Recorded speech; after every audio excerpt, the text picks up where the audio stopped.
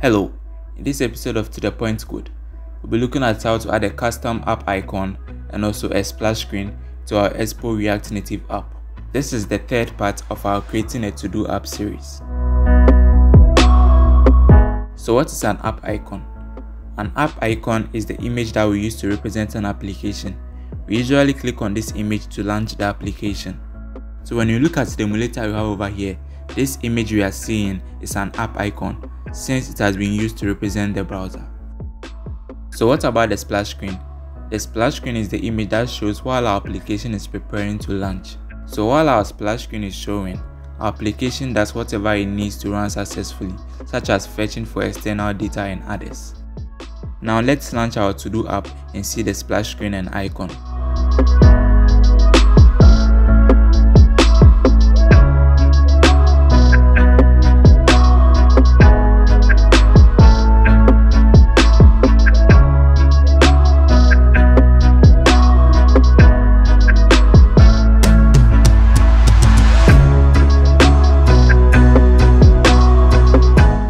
While our app is preparing to launch, this currently display screen is what we call the splash screen. So this screen will stay on until all the files needed to run the application successfully are available. Once the app has loaded and we go to the recent tab, we see an image at the top. This is the app icon. Now in our project, when can we find these images? In our code editor, we go to the assets directory. In the asset directory, we see that we have four image files. The first one is adaptive icon. So the adaptive icon is needed when you are building the app for Android. It is used as a foreground, therefore it can be equal to our actual icon but without the background. Now the second image is the fav icon. This is needed when you are building the application for the web, which we are not doing now, so we are not going to use it. Now the third one is the icon. This is the complete icon that will be used to represent your application. It has the foreground and the background as well. This is what you need when you are building for iOS, but we need it for the Android as well. Now the splash is the screen which is displayed when our application is being loaded. And we can see that it is equal to what was displayed when our application was loading. As we can see, this has a transparent background, but we can also choose to use an image with a background. Now how do we get the correct app icon and splash screen? Let's visit the Expo documentation.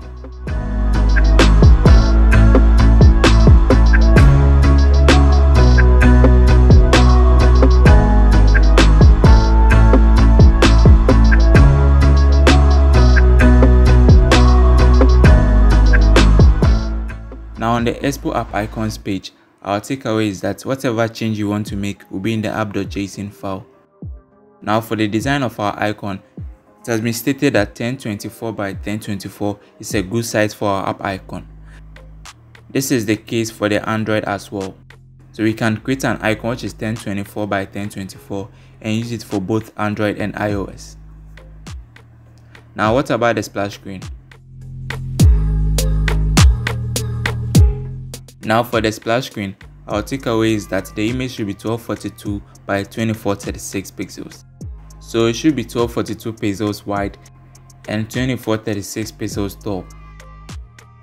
So for the app icon and the splash screen, all that matters is the size. You can use any app of your preference to create the images. Now let's go back to our code editor.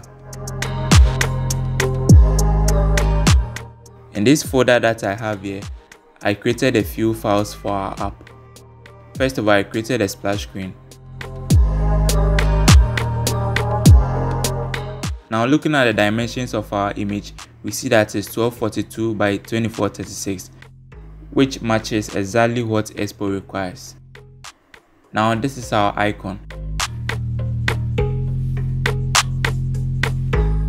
Also checking the dimensions of our image, we see that it's 1024 by 1024, which once again matches the dimension that Expo requires.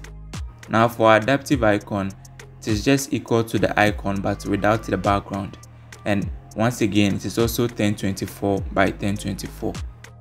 Now all we need to do is to get these files in our assets directory and make changes in our app.json file. So I'll copy these files into the asset directory.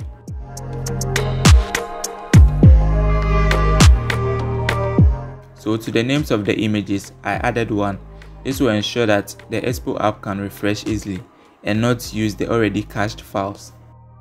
Now let's go to our app.json file. Now from the top, we go to the icon section. Under the icon key, we change the image to icon1.png. Also for the splash, we change the path of the image to splash1.png. We don't want the background color to be white, so we go ahead to clear it and copy our background color from our appstyles.js file.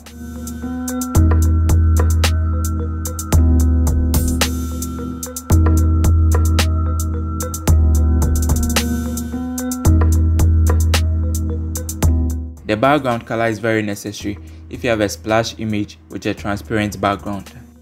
Now for the Android key, we'll change the path as well.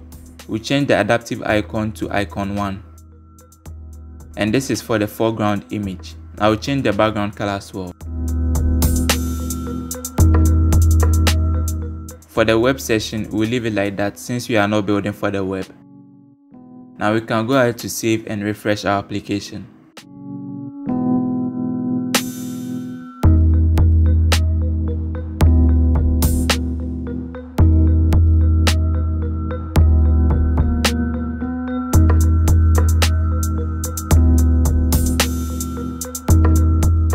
Now while our app is loading, we see that we have a new splash image, which is what we just added.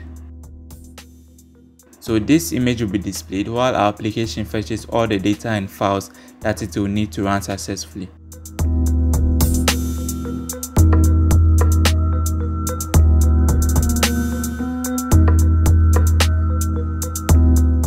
We see that our icon is being displayed here.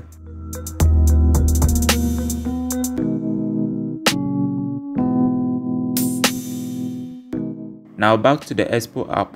Let's run our application once again.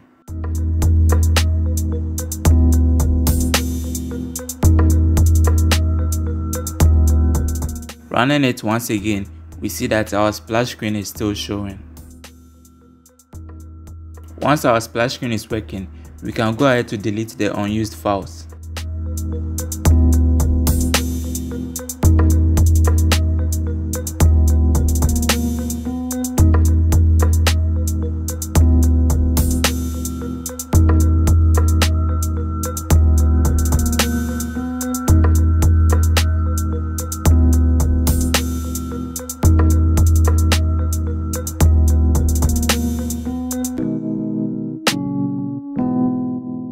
So that's all for this episode. In this episode, we've learned how to create a custom splash screen and also add an app icon to our Expo application. Thanks for watching. Please leave a like and subscribe if you have not done so already and I'll see you in the next episode.